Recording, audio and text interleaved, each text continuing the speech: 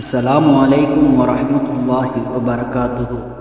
எங்கள் பள்ளப்பட்டி இளம் உலமா பேரவை நடத்தும் யூடியூப் சேனலில் மார்க்கம் சம்பந்தமான எல்லா விதமான வீடியோக்களையும் பார்த்து பயன்பெற எங்கள் யூடியூப் சேனலை சப்ஸ்கிரைப் பண்ணுங்க.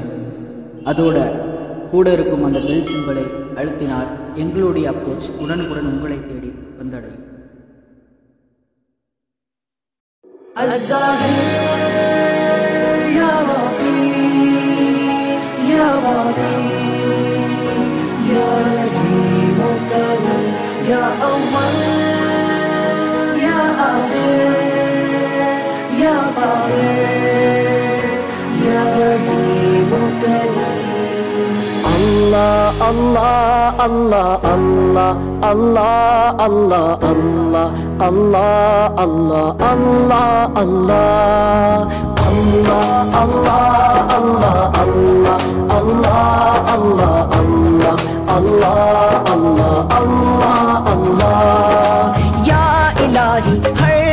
तेरी अता का साथ हो। या इलाही, हर जगह तेरी अता का साथ हो। जब पड़े मुश्किल शरे मुश्किल कुशा का साथ हो। अल्लाह अल्लाह अल्लाह अल्लाह अल्लाह अल्लाह अल्लाह।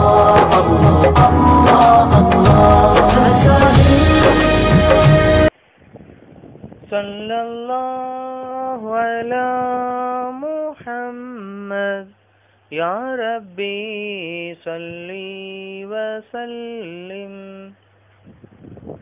السلام عليكم ورحمة الله تعالى وبركاته. الحمد لله والصلاة والسلام على رسول الله وعلى آله وصحبه حزب الله.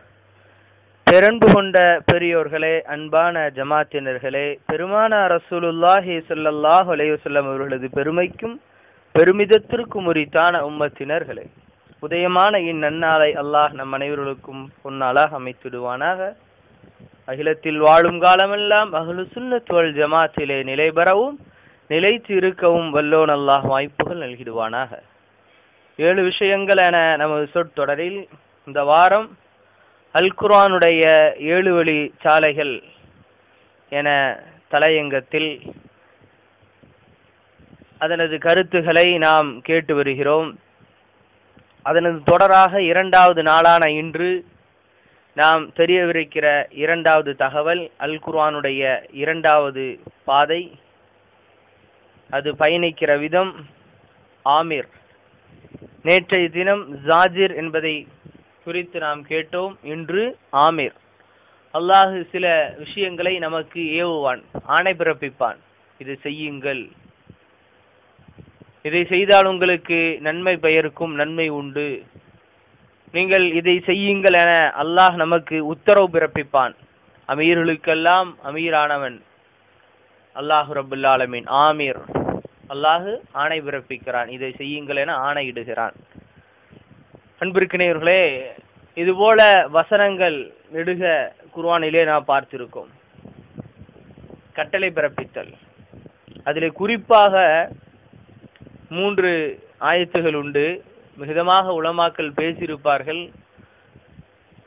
தப்சீர்களிலே மிகவும் காண கிடைக்கிற இந்த தகவல் நாம் எல்லாம் அறிந்திருப்போம்.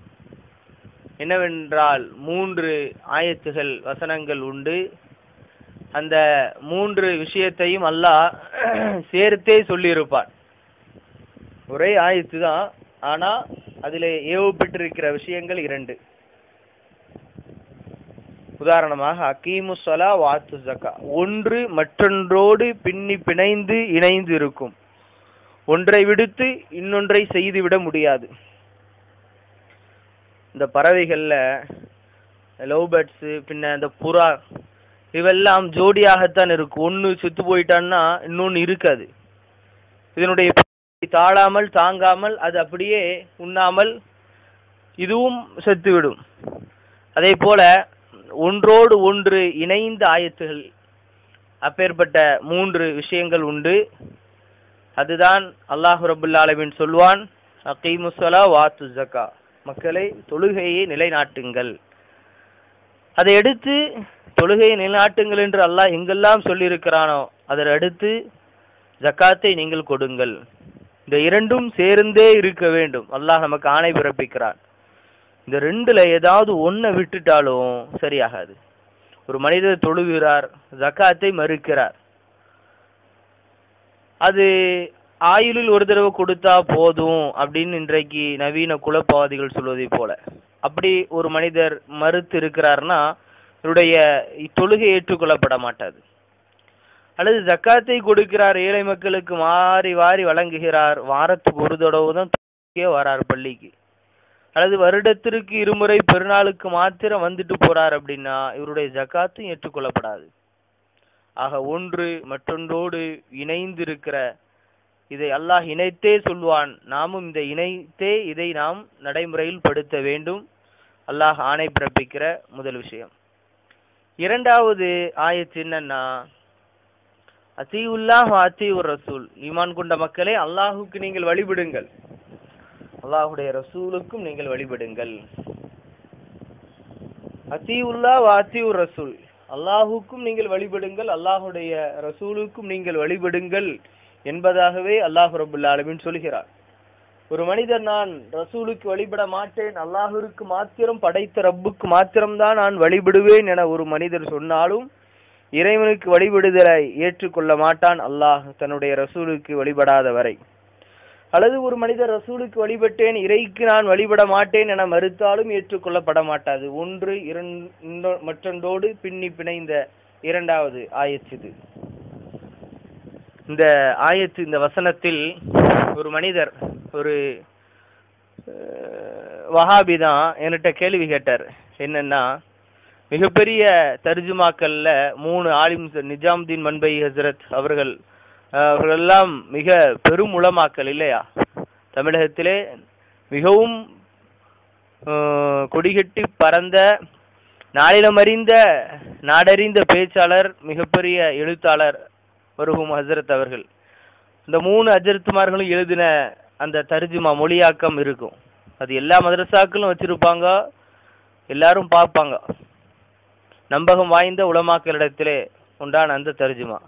நீங்கெல்லாம் பார்த்துருப்பீங்க இந்த ப்ளூ கலரில் இருக்கும்.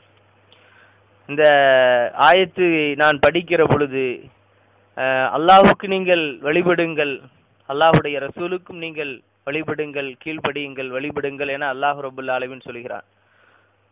இந்த மொழியாக்கத்தை நான் படிக்கிற பொழுது ஒரு வஹாபியனிடத்திலே குதர்க்கம் பண்ண வேண்டும் என்பதற்காக வேண்டி அல்ல அவருடைய மேதாவித்தனத்தை அவருடைய மதிநுட்பமான அறிவாக நினைக்கிறேன் என்பதாக அவர் நினைத்து என்னிடத்தில் கேட்ட விஷயம் இது. என்னன்னா அல்லாவுக்கு நம்ம வழிபடலாம் அஜர்த்து. ரசூலுக்கு எப்படி வழிபட முடியும்? அந்த வழிபடுதல் என்பதை இவங்க தலிய தனி தவறுதலாக மொழியாக்கம் செஞ்சிருக்காங்க. வேற வார்த்தை சொல்லலாம். எப்படி? அவர் தமிழ்ல வேற வார்த்தை சொல்லலாமே அப்படின்னு சொல்றாரு. அப்ப நான் சொன்னேன் அல்லாஹ் என்ன சொல்லியிருக்கான்னா அத்தீவுல்லா வாத்தியூர் ரசூல். இத்தாத் என்பது இந்த வார்த்தையும் சொல்லிட்டு ரசூலுக்கு வேற இத்தாத்துங்கிற வேற பதத்தை அல்லாஹ் பயன்படுத்தல. ரெண்டும் ஒரே பதம் தானே பயன்படுத்தியிருக்கிறான். அதே மாதிரி நம்ம மொழியாக்கம் செய்யும் போது ரெண்டையும் அப்படியே தான் சொல்லணும். அப்படியே தான் மொழியாக்கம் பண்ண வேண்டும் என்பதாக நான் நினைச்சிருந்தேன். இந்த குதர்க்கவாதிக்கு விளக்கம் கொடுத்தேன். ஆக அன்பிருக்கினியவர்களே அல்லாஹ் ரபுல் ஆலமினுடைய வார்த்தை வசனம் சேர்த்தே அல்லாஹ் சொல்லியிருக்கிறான். அல்லாஹுக்கு வழிபடுங்கள் ரசூலுக்கு வழிபடுங்கள் என்று. அதே போலத்தான் நம்முடைய செயல்முறையும் இருக்க வேண்டும். மூன்றாவது வசனம் என்னவென்றால் அன்ஷ்குர்லி வழிவாளிதை மக்களே எனக்கு நீங்கள் நன்றி பாராட்டுங்கள். உங்களுடைய தாய் தந்திரலுக்கு நீங்கள் நன்றி பாராட்டுங்கள் என்பதாக அல்லாஹ் ரபுல் ஆலமீன் ஆணை பிறப்பிப்பான். இதையும் அல்லாஹ் ரபுல் ஆலமீன் சேர்த்தே இணைத்தே சொல்லக்கூடிய சூறாவாகும். ஆயத்து ஆகும் ஆக அன்பிற்கினைவர்களே அல்லாஹ் நமக்கு ஏவிய விஷயங்களை நாம் வழிபட்டும்.